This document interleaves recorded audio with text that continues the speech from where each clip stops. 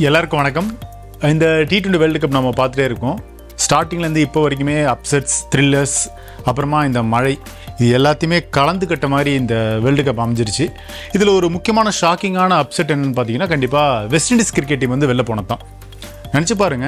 மின்னோஸ்னு சொல்லப்படுற இந்த Scotland Ireland கூட தோத்துறாங்க ஜிம்பாவே கூட மட்டும் ஒரு மேட்ச்சில் ஜெயிச்சாங்க. ரெண்டு தடவை வேர்ல்ட் கப் சாம்பியனான வெஸ்ட் இண்டீஸ் வெளியே போனது உண்மையிலே ஆச்சரியமான விஷயம். ரெண்டாயிரத்தி பதினாறில் கடைசியாக வெஸ்ட் இண்டீஸ் டீம் அந்த வேர்ல்டு கப்பை வின் பண்ணாங்க. அதுக்கப்புறம் அந்த வின்னிங் காம்பினேஷன் வெஸ்ட் இண்டீஸ்க்கு அமையவே இல்லை. இப்போது எங்கேருந்து வந்து நிற்குது பாருங்க. ரெண்டாயிரத்தி இருபத்தி ரெண்டு டி டுவெண்ட்டி வேர்ல்டு கப்பில் ஒரு மான்ஸ்டர்னு சொல்லப்படுற இந்த வெஸ்ட் இண்டீஸ் டீம் வெளில வந்திருக்காங்க.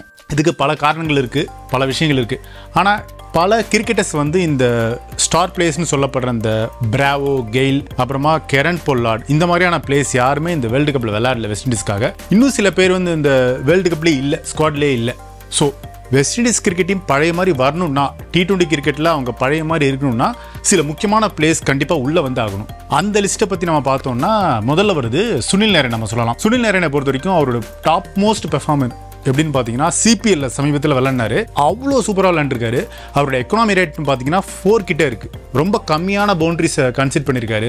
அவர் ஓவரில் சிக்ஸ் அடிக்கிறது ரொம்ப கஷ்டமா இருந்திருக்கு. அவர் பாலை ஃபேஸ் பண்ணுறதே ரொம்ப கஷ்டமாக இருந்திருக்கு. ஸோ அவருக்கும் இந்த டீம் மேனேஜ்மெண்ட்டுக்கும் சில பிரச்சனை வந்துச்சு. அதன் காரணமாக தான் அப்படியே சுனில் நாராயணை அப்படியே அப்கான் அப்படியே ஒரு அபேண்டன் பண்ணிட்டாங்க. அப்படிதான் சொல்ல முடியும். So, சுனில் நாராயணை மறுபடியும் டீமுக்குள்ளே கொண்டு வந்தால் அந்த மொமெண்டம் வரும். அதே மாதிரியான ஒரு பிளேயர் தான் ஆண்ட்ரே ரசல்.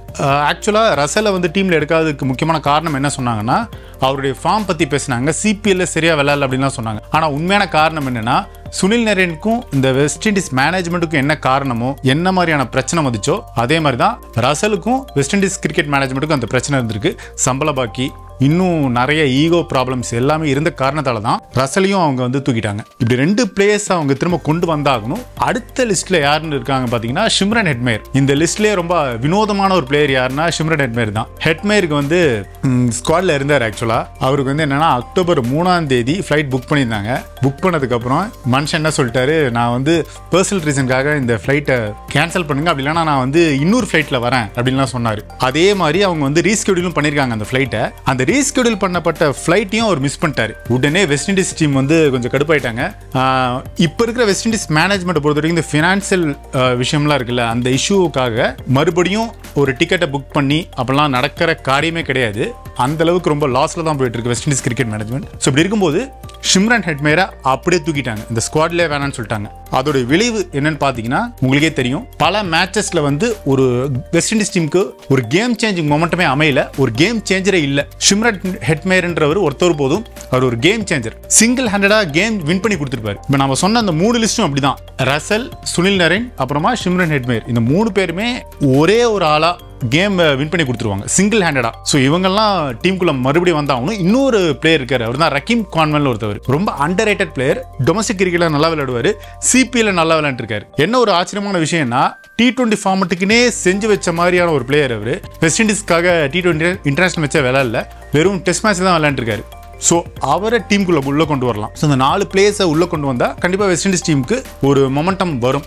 வரதுக்கான வாய்ப்பு இருக்குது ஆக்சுவலாக இந்த வேர்ல்டு கப்பில் வந்து வெஸ்ட் இண்டீஸ் வெளியேறினாங்கல்ல அப்போ வந்து கெரன் புல்லாட் ஒரு விஷயத்த சொல்கிறாரு இந்த தோல்விக்கான காரணம் என்ன அப்படின்னு சொல்லும்போது அவர் என்ன சொன்னார்னா ரெண்டாயிரத்தி பதினாறில் அங்கே கடைசியாக வேர்ல்டு கப் ஜெயித்தோம் அப்போ எல்லா பிளேயர்ஸுமே கூட இருந்தாங்க. அந்த வேர்ல்டு கப் முடிஞ்சதுக்கு அப்புறம் எந்த ஒரு பிளேயருமே அந்த வேர்ல்டு கப் வின்னிங் டீம் யாருமே அதுக்கப்புறம் ஒன்றா விளாட்ல எந்த ஒரு சீரீஸுமே விளாட்ல பைலேட்டல் சீரியஸ் அப்புறம் அப்புறமா ஐசிசி டோர்னமெண்ட் எதுலையுமே ஒன்றா விளாடல அவர் சொன்ன அந்த லிஸ்ட்டு பார்த்தீங்கன்னா Darren Sammy Chris Gayle Dwayne Bravo Kieron Pollard Andre Russell Sunil Narine இப்படி எல்லாருமே சொல்லலாம். இவங்க யாருமே இந்த ரெண்டாயிரத்தி பதினாறு டி டுவெண்ட்டி வேர்ல்டு கப்புக்கு அப்புறம் ஒரே மேட்ச்சில் யாருமே பிளேயிங் லெவன்லாம் வரவே இல்லை. நாம் சொன்ன அந்த லிஸ்ட்லாம் பாருங்க ஒரே ஒரு ஆள் யாராக இருந்தாலும் கேம் சேஞ்ச் பண்ணிடுவாங்க அப்பேற்பட்ட ஆளுங்க தான் வெஸ்ட் இண்டீஸ் டீம் ஸோ இப்போ மறுபடியும் அவங்க இன்டர்நேஷ்னல் கிரிக்கெட்குள்ளே வந்தாகணும். மறுபடியும் அவங்க பழைய மாதிரி வரணுன்றது தான் கிரிக்கெட் ஃபேன்ஸோட எதிர்பார்ப்பாக இருக்குது ஸோ வெஸ்ட் இண்டீஸ் கிரிக்கெட் டீமுடைய அந்த கம்பேக் எப்படி இருக்கணும்னு உங்கள் கருத்துக்களை கமெண்ட் செக்ஷனில் கமெண்ட் பண்ணுங்கள்